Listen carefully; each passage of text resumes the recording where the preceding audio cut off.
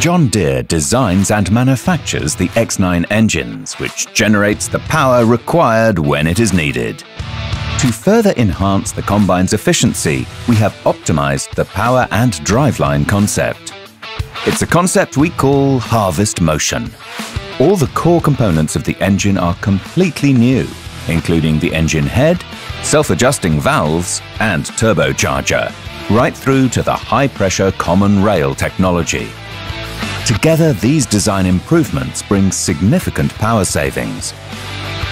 The torque curve for the X9's 13.6-litre engine is designed so it's almost completely flat between 1,900 and 1,700 RPM.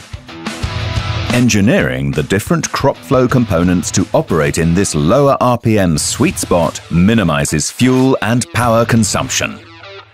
The torque curve is also designed so that even if the engine speed drops lower during tough conditions such as high moisture crop or challenging terrain, there's still tremendous reserve capacity.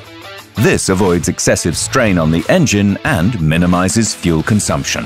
With the very low 1900 RPM during operation, Harvest Motion is good for your running costs too.